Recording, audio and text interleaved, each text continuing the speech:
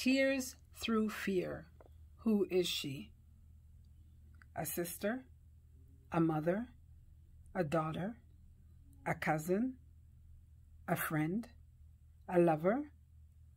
Growing up, I often wondered who she was. Then one day, out of the blue, she appeared, and she was me.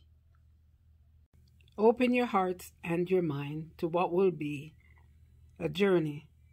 Although it was not easy, but it was well worth it. Let's converse, share, cry, acknowledge what our purpose in this lifetime is. Then ask yourself, tears through fear. Who is she? Hey guys, so today I would like to share with you a poem that I wrote back in 2014 called Identity. Now, I went through this phase, but that was in the early 90s. No, it was actually the 80s. Oh, I'm aging myself now, but you can see I'm aging myself. So, was it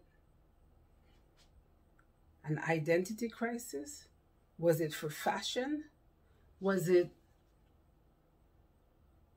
just pure old fashionable thing to do at the time? So let's go through this poem. Let me know what you think.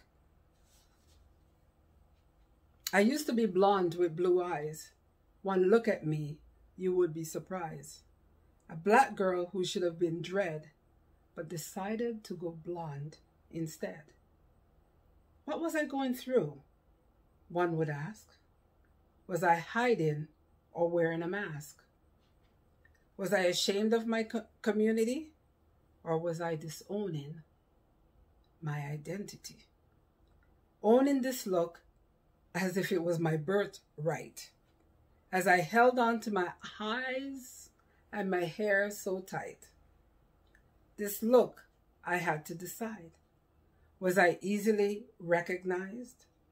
This masquerade sure won't last as I gradually unveiled the mask. I did not look the part.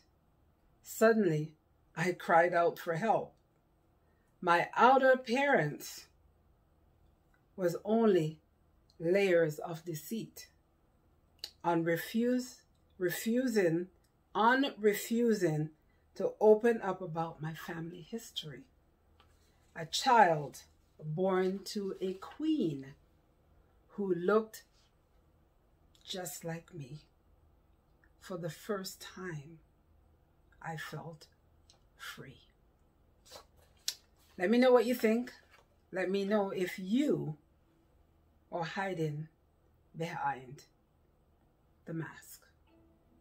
Thank you for checking in Jen's Poetry Den. You have yourself. Actually, I also have Jen's portrait in, and this one is Jennifer's Journey to Wholeness. Thank you. Have a great day, and be blessed.